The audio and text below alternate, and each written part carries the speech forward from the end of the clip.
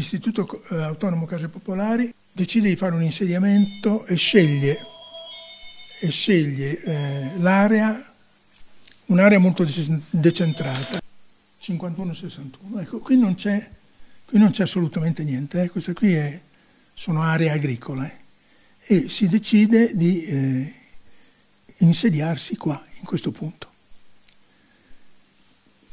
E date le caratteristiche dell'insediamento, eh, i progettisti pensano di fare, eh, di chiudere l'insediamento in una, in una, cittadella. La matrice di, questa, di, questo insediamento sono questi edifici, eh? sono questi edifici che partono dalla, dalla periferia, dall'anello, dall'anello, di questa cittadina no? e vanno verso il centro e ritornano una specie di eh, stella radiale. Questa è la caratteristica che danno i, i progettisti a questo insediamento. Come disegno può anche andare bene, non è il problema, il problema non è quello. Il problema è che questi edifici sono alti 6-7 piani, quindi con una densità altissima e una, una, eh, degli spazi interclusi che sono molto stretti, molto angosciosi, non, non, non, entra, non penetra facilmente il sole qui, anche se l'idea era quella, proprio mettendoli così, che il sole girando sarebbe passato sempre dentro. E quindi niente, lì si crea, si crea eh, un, un, una situazione per cui viene considerato questo tipo di insediamento negativo. A questo si aggiunge il fatto che qui sono stati concentrati dei ceti sociali eh, poco abbienti e, e si crea una, una, dire, una, situazione sociale che pian piano diventa esplosiva.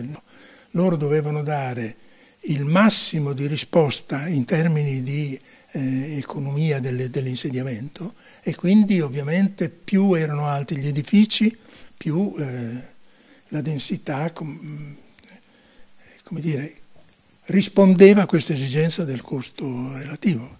E quindi eh, c'era il, il, costo, il, costo, di base del terreno, che è un costo eh, eh, molto modesto perché se non ricordo male le cifre si parlava di 60-65 lire al metro quadro di, di, di superficie agricola e, e, in più con queste densità alte si dava casa ad un sacco di gente, solo che si dava casa ad un sacco di gente in condizioni che non erano più considerate delle condizioni, eh, non dico ottimali, ma nemmeno decenti. Tutto questo, tutto questo aggravato dal fatto che nessuno ha pensato di distribuire all'interno di questi insediamenti, ceti diversi, un po' perché c'era la pressione dei ceti meno abbienti, un po' perché i ceti eh, diciamo, più abbienti non, non, non andavano lì in, in, questi insediamenti, che non avevano un, un minimo di caratterizzazione, non, non, c'era, non c'era la possibilità di eh, individuare anche delle parti che potessero considerarsi più eh, dire, più accettabili eh, rispetto alle altre.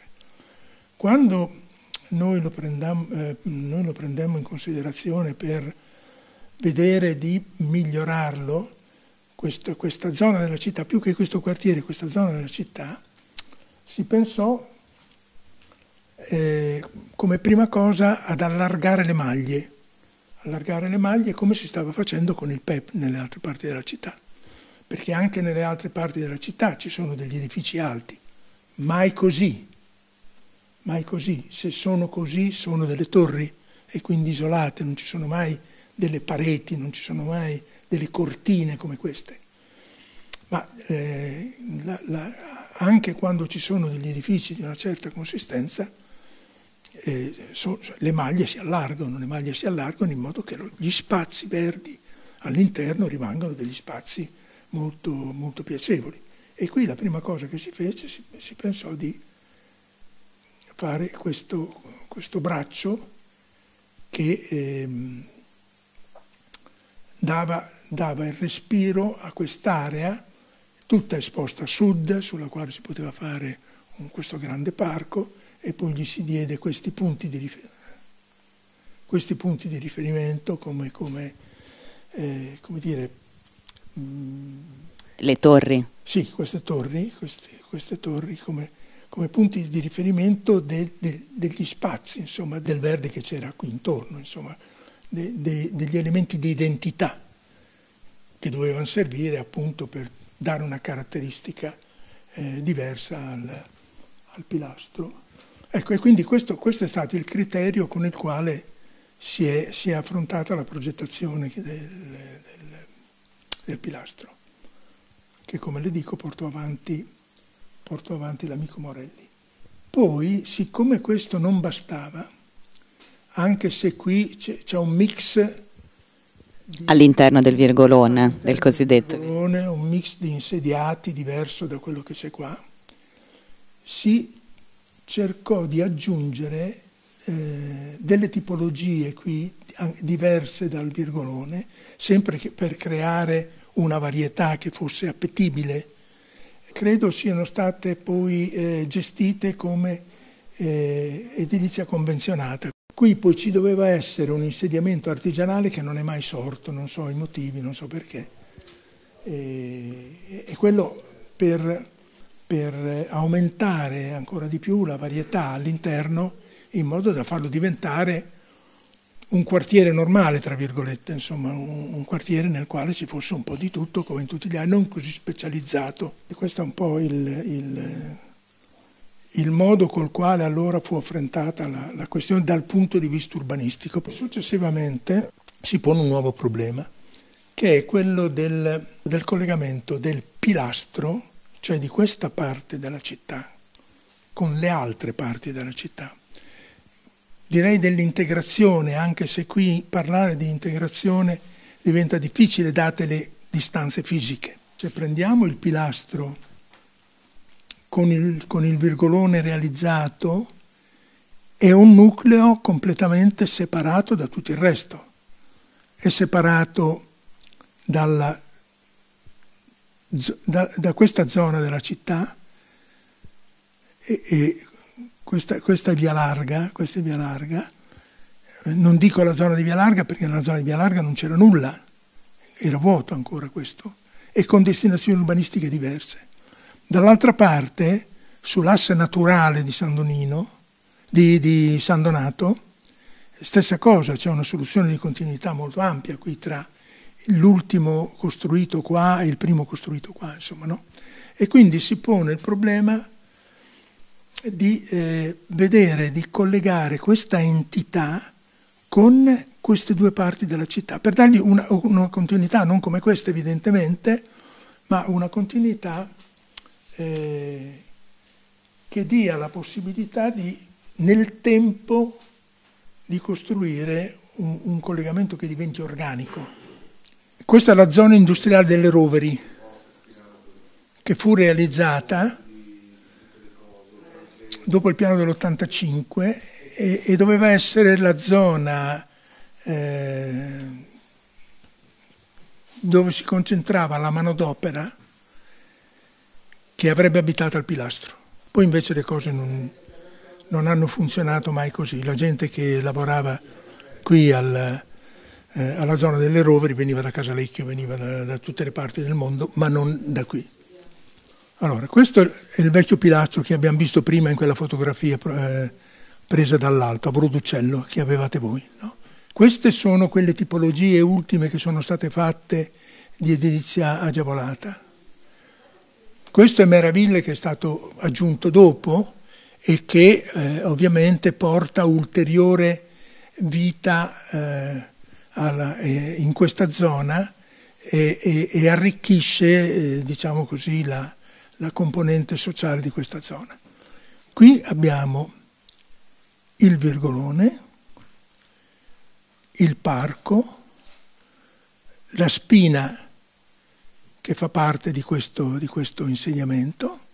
E poi il problema qual era? Il problema era quello di... Il problema che ci si pose a un certo punto era quello di collegare il pilastro e con la zona di San Donnino, cioè questa qui, e con la zona eh, di San Vitale, qua.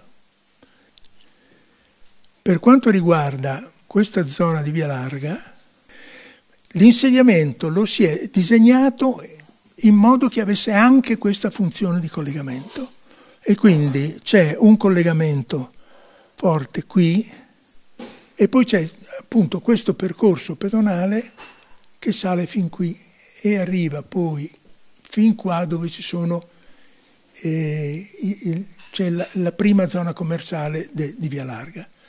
Da qui a qui c'è questo percorso che rimane come soluzione di continuità, che rimane scoperto.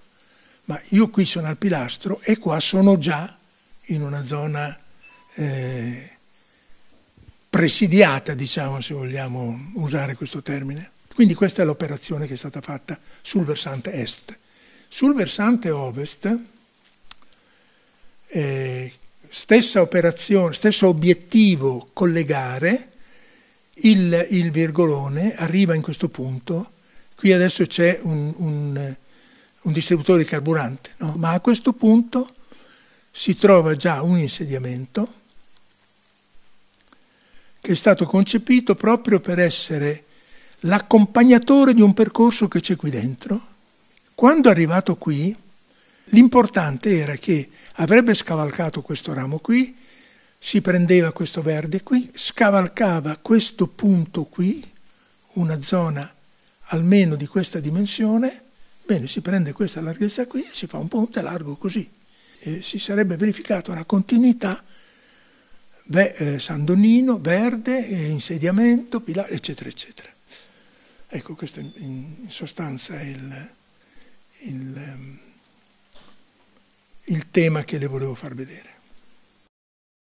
Il piano precedente era il piano del 55, 58, 55 l'adozione, 58 l'approvazione e le criticità di questo piano erano soprattutto date da una carenza di dotazioni pubbliche che eh, apparivano nella loro realtà man mano che emergevano le situazioni dei paesi civili dell'Europa, perché noi con la guerra eravamo rimasti chiusi, non sapevamo cosa succedeva altrove, se non nell'architettura. Ma dal punto di vista dell'urbanistica cominciamo a scoprire che, che, cos'era il piano di Amsterdam, come, come pianificavano gli svedesi, come pianificavano gli, gli inglesi e cominciammo a